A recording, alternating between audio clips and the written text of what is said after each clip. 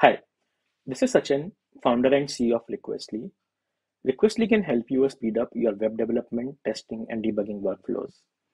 Using Requestly, you can intercept and modify any part of your HTTP request and response, be it URL, host name, request and response headers, request body, or even API responses. So let's take a look.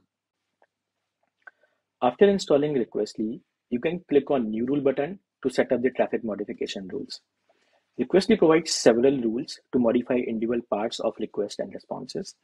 For example, you can use the redirect request feature to map your production scripts or APIs to your local running code.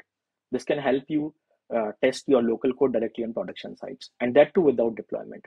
Isn't this magic?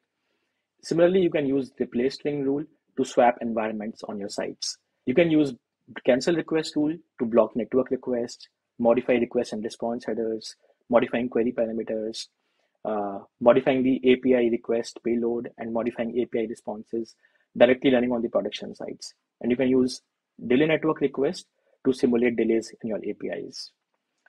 Once you create the rules, you can organize your rules into different groups. So you can select some, some rules and you can change the groups. And you can also share the rules with your teammates by again selecting and clicking on share. You can provide your name and click on share button. You can also pin the rules for quick accessibility via pop-up, the rules that you frequently use. Requestly also provides mock server that you can use when your backend is not ready to create dummy endpoints. So you can simply say create new mock and define the response that you need. For example, response is hello world and hello world and you can just specify the path that you need. So you can create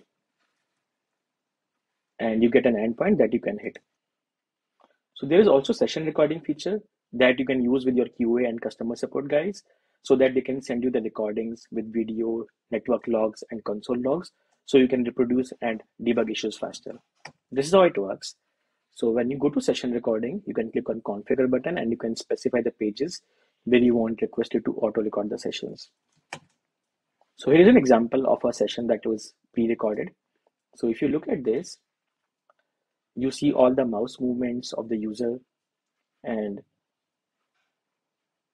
all the console logs, all the network logs here. So these are the APIs, so you can see the requests and responses, etc.